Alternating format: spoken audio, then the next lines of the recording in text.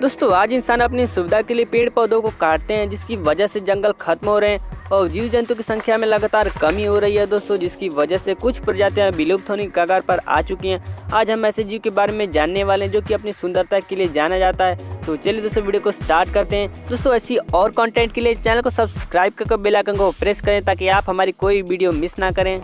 दोस्तों white tiger भी royal Bengal tiger की फैमिली से बिलोंग करता है या कोई अन्य प्रजाति नहीं है। सफ़ेद बाघ का चेहरा बंगाल के किसी भी बाघ के समान होता है। वे केवल तभी अलग होते हैं जब उनके रंग की बात आती है। उनके चेहरे पर फर्श सफ़ेद होते हैं, जिसका अर्थ होता है कि आप उन्हें आसानी से बंगाल के अन्य बाघों के अलावा बता सकते हैं। बंगाल के सभी बाघों की तरह वे एशिया के जंगलों में रहते हैं, खासकर भारत जैसे देशों में। वे जंगलों और घासों वाले क्षेत्रों में रहना पसंद करते हैं और उनकी धारियाँ उन्हें कुछ छलावा देने में मदद करती हैं।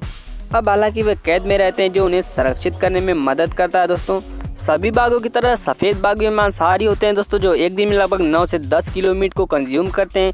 सफ़ेद बाघ की आँखें गहरी नीली होती हैं, जो उन्हें बहुत आकर्षक बनाती हैं।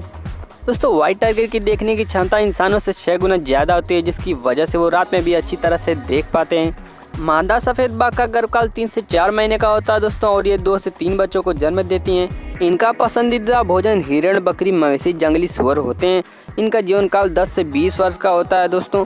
सफ़ेद बाघ भूमि और पानी दोनों जगह शिकार कर सकते हैं। एक महान तैराक होने के साथ साथ 60 मील प्रति घंटे की रफ्तार से दौड़ सकते हैं। दोस्तों व्हाइट टाइगर्स अपना ज़्यादातर समय अकेले में बिताते हैं। सफ़ेद बाघ एकांत जानवर जैसे अन्य सभी बड़ी बिल्लियाँ, वे आमतौर पर अपने दिन का अधिकांश समय आराम या सोने में बिताते हैं। दोस्तों, सफ़ेद बाघ एल्बिनो नहीं होते हैं। यह एक सामान्य गलत धारणा है कि सफ़ेद बाघ बंगाल के बाघों के एल्बिनो संस्करण है। यदि वे होते तो उनके पास कोई वड़क नहीं होता, जिसके परिणाम स्वरूप धारियों के बिना वे सफ़ेद कोट और गुलाबी या लाल आँखों के होते। बंगाल के बाघ एकमात्र उप प्रजाति हैं, दोस्तों, जो विभिन्न रंगों में आते हैं। सफ़ेद रंग हालाँकि अविश्वनीय रूप से दुर्लभ है, इसी वजह से आज जंगल में बहुत कम सफ़ेद से बचे एक सफ़ेद बाघ को पैदा होने के लिए दोनों माता पिता को एक असामान्य जीन रखना चाहिए। यह केवल प्रत्येक दस हज़ार जन्म में एक बार होता है, दोस्तों। दोस्तों, अगर वीडियो अच्छी लगी हो तो एक लाइक और शेयर ज़रूर करें और आई बटन में एक फैक्ट एपिसोड की वीडियो होगी तो उसे जाकर